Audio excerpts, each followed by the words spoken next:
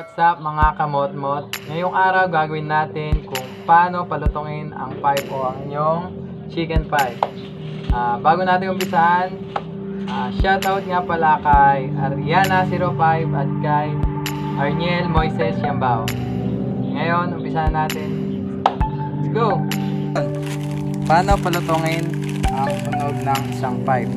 Unang-una, kailangan natin ng steel wool. Bibili siya sa tindahan sa halagang 15 pesos. Kahit saan naman meron yan. Yan. So, kahit saan meron. Yan. Ganito yung ano niya. Yan, bilog. Ngayon, una na natin gagawin. Tanggalin lang natin yung ito yung mga allen rings niya. Kung napapansin nyo, stock pa sa akin. Wala pa siyang galaw. Tinuro lang sa akin to ng mga kaibigan ko kung paano gawin.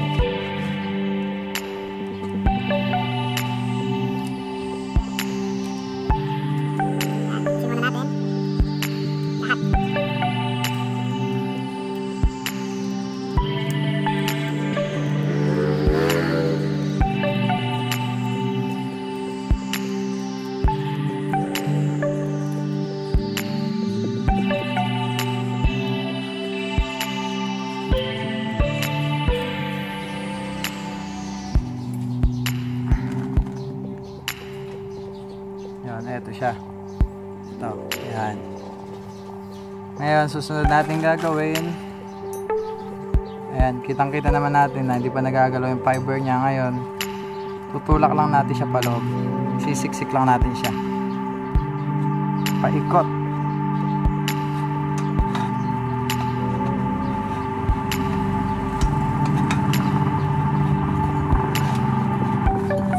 Natin siya ng todo.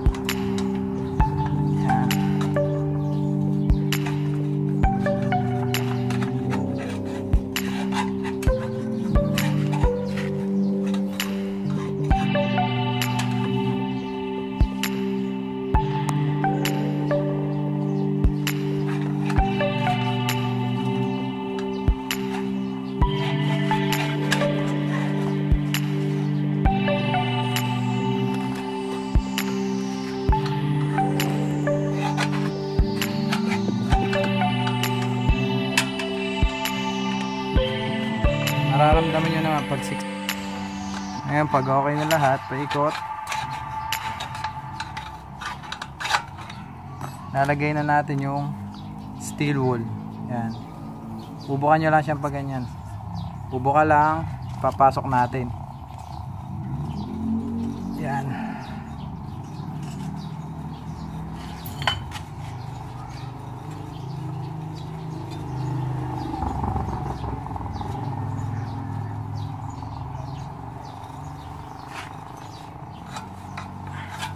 Tapos itulak natin uli.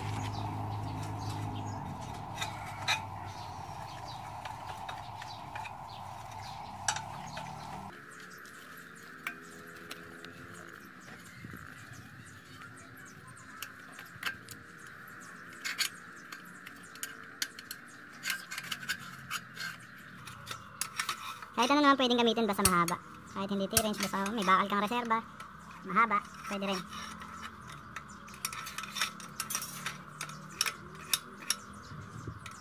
Yan. Tatlo, tatlo ilalagay natin.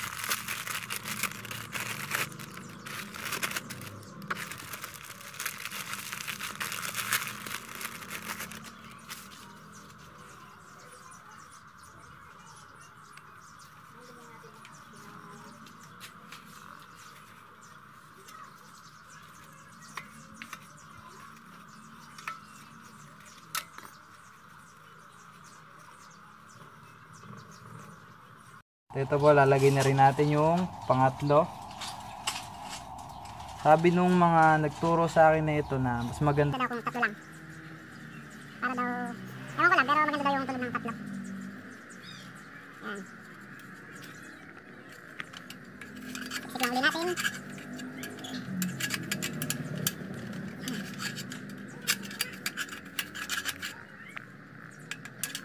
Yun, tapos natin ilagay. Babalikan natin yung takip niya. Yan.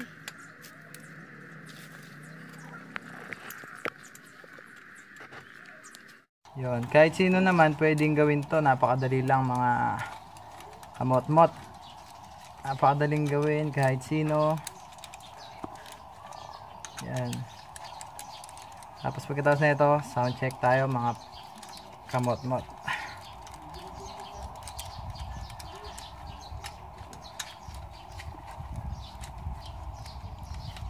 Sound check natin kung lumutong ba.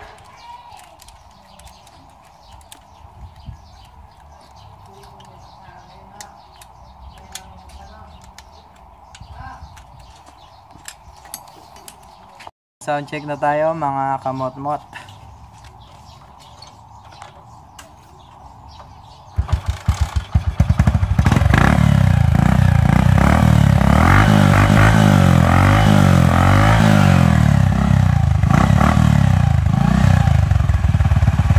Kaiba. Di katulad nung una na parang puro kubog lang siya. Ngayon, yun. Dumutong na siya. Sound check ulit mga kamot-mot. Ayan. Na siya. At yun, dito na natatapos ang ating vlog mga kamot-mot. Huwag kalimutan mag-subscribe, like, comment, share, at i-click na rin ang notification bell para updated kayo sa mga bagong videos. Bye!